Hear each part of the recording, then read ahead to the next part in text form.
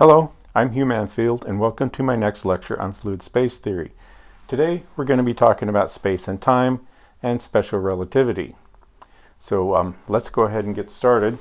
But before that, let me just remind you that if you want to see the math in detail and text explanations of the process and the derivations, you can always pick up a copy of my book, Einstein and Aliens. And the book contains all the math in the appendices and it has a science fiction story. So today we're going to talk about space-time. Now, in the 1600s, Isaac Newton came up with his laws of motion, which were applied within three dimensions in space and independent time. And this all worked out really well. Um, but in 1905, Albert Einstein came along and said, No, Newton was wrong. Space and time are not separate things, they're actually all one and the same thing.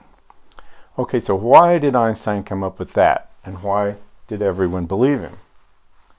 Well, at the time, there were some perplexing experiments that had been run, uh, the Michelson-Morley experiments, and they tried to find the motion of the Earth through space by measuring the speed of light.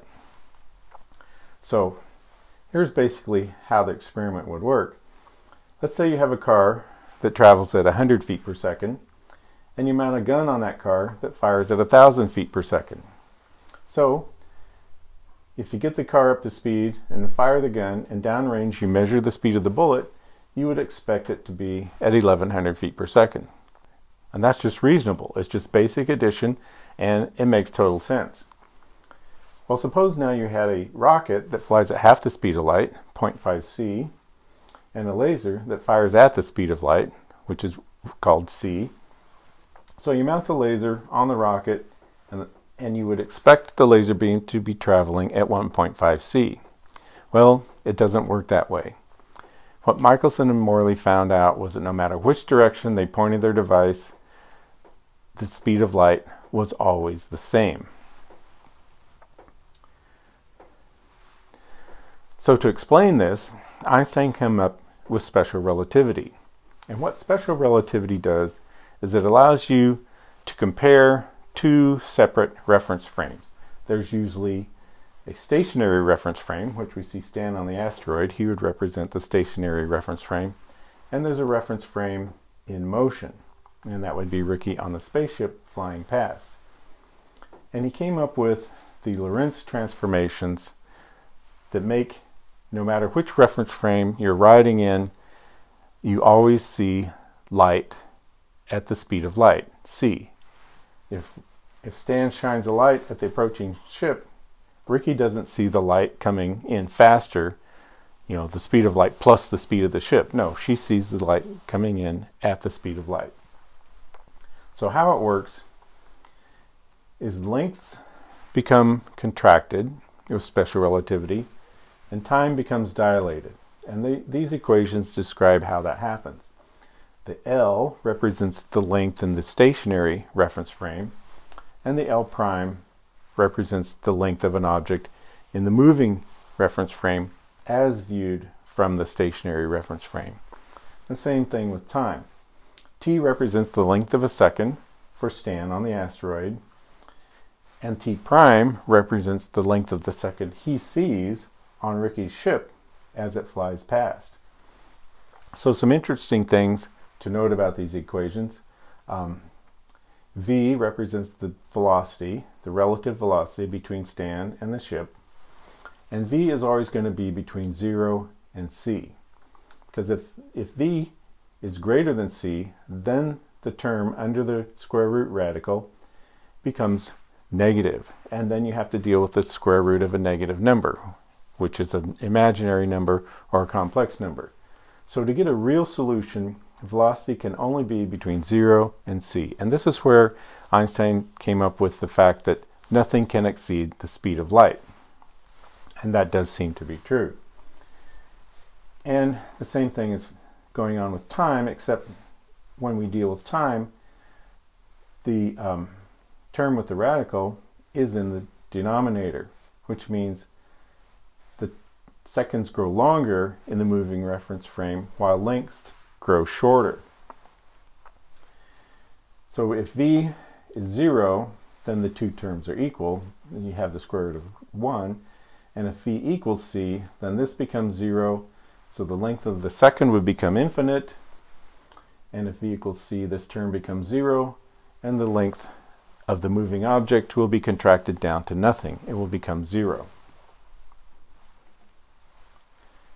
So how does this work? Well, in coming up with the Lorentz transformation, Einstein applied the Pythagoras theorem. Basically, if you have a cube, x, y, and z lengths, the distance along the diagonal, if I place my rod along the diagonal, will be, the distance squared will be equal to the sum of the squares of the individual components.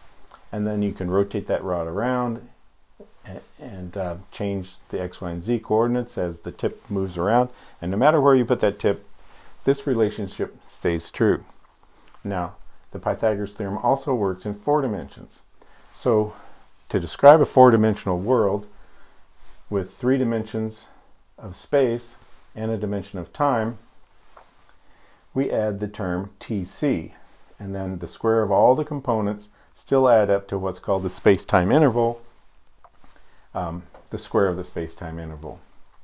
So but there's a slight hiccup with that is that the time is in seconds and um, all the lengths are in meters. So we multiply time by the speed of light, which is in meters per second, and that turns this quantity to have the same units as the length. So everything's expressed in terms of meters. Now another thing to note about this, everyone usually says that there's three dimensions in time, but you can't disregard this C component. It's time and motion. So the fourth dimension is actually dimension of time and motion. And that's what fluid space theory brings to the table, is it accounts for the motion part, which is usually dismissed or forgotten about in other theories. So now when Ricky flies past, and she goes faster and faster and faster with each pass. She becomes more length contracted and more time dilated. Now I'm going to switch to my wooden pointer so that you know I'm not collapsing the pointer. What's going on? Well, when something becomes length contracted, it doesn't actually get any shorter. I mean, on board, Ricky sees her ship stay the same length, takes the same number of steps to walk forward and backward through the ship, and her clock appears to run at the same rate as when she was not moving fast. So on board, you don't notice any of the changes. You only notice the length contraction and time dilation when you're watching from a stationary reference frame. So what's actually going on is let's say this rod is pointing in the x direction and the camera and the viewer are in the y direction. So if I rotate this rod from the x direction to the y direction, you see less and less of it. It appears to get shorter. Now what's going on? Well, you know what's going on because you've been dealing with this all your life. It's a foreshortening effect when you're looking directly onto something. But it's the same thing that goes on with special relativity. So instead of rotating into a direction where you can't see the length, when something becomes length contracted, it's a rotation of motion. So as it moves faster and faster, it's essentially rotating into a dimension where you can't see the full length of it. But the rocket is all still there. So understanding space-time and relativity is really no more difficult than rotating a ladder here we see Ricky and Stan exploring the surface of a planet they discovered, and the ladder has blown down. So Ricky knows that the ladder now does not have enough vertical length to reach the hatch. It's all horizontal. But she knows she can fix that by calling Stan over, and the both of them can rotate the ladder up against the hatch, and they are exchanging length in the horizontal direction for length in the vertical direction. Just like when something goes fast, it's exchanging length in the direction of motion for length in the TC dimension. It's the exact same thing that's happening. So relativity is no harder to understand than standing up a ladder. So now that you know how length contraction and time dilation work in special relativity, you're ready for a deeper look into reference frames and Newton's laws, and that's going to be in my next video. So if you like this video, please subscribe and tell a friend. And if there was anything you found hard to understand, leave a comment or suggest a topic for my Keeping Science Simple channel. Until next time, I'm Hugh Mannfield.